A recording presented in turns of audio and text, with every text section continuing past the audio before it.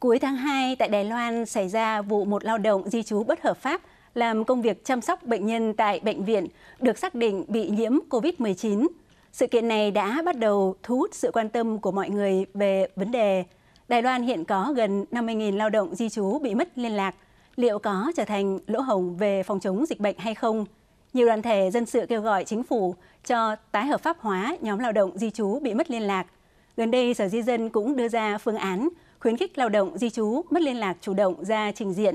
Phóng viên đài truyền hình PTS đã phỏng vấn một lao động Việt Nam mất liên lạc. Mời các bạn hãy cùng lắng nghe tâm tư của lao động này nhé.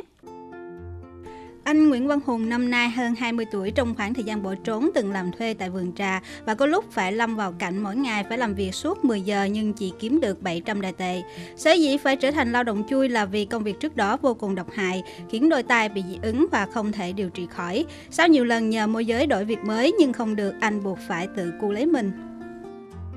呃，再来找到的时候，那刚出来我很会发检查，会插回去，因为 刚开始出来我看到检查我不敢出去这样的，再来我换换换工作换去比较少的检查是在台中的，做农场。Hiện anh Hùng phải làm hai công việc cùng một lúc do chủ thuê không có thời gian mua khẩu trang nên anh không được cung cấp bất kỳ dụng cụ bảo hộ nào trong lúc làm việc. Nếu cần khẩu trang thì phải nhờ đến các lao động hợp pháp giúp đỡ. Một chiếc khẩu trang đôi khi phải đeo trong 15 ngày. Trước đó có thông tin một lao động bỏ trốn bị nhiễm Covid-19 khiến anh vô cùng lo lắng.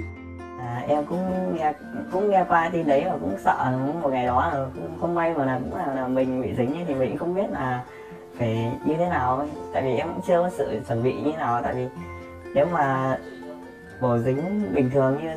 sốt bình thường hay là làm sao thì cũng có thể là đi mua thuốc ở tiệm những cái tiệm nước ngoài uống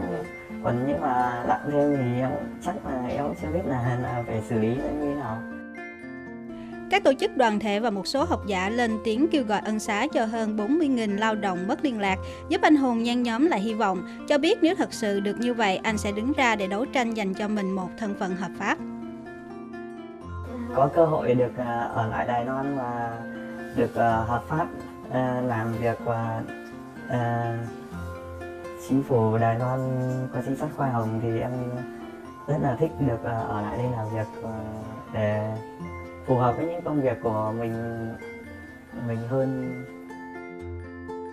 Để bù vào khoản chi phí môi giới 6.000 đô la cao ngất ngưỡng và tích góp để về quê làm ăn, anh Hùng phải làm việc cực lực ngày đêm. Trước tình hình dịch như hiện nay, anh hy vọng ít nhất có thể mua được khẩu trang để bảo vệ bản thân. dịch như này thì em cũng mong nhà nước à, tại vì bên đây em cũng thấy có rất là nhiều người giống em bất hợp pháp mà không mua được khẩu trang thì cũng mong nhà nước cũng Ừ. biết, nghĩ đến và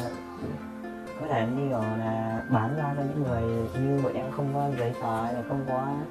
không có trả bảo hiểm, có thể vẫn mua được khẩu trang để bảo vệ mình.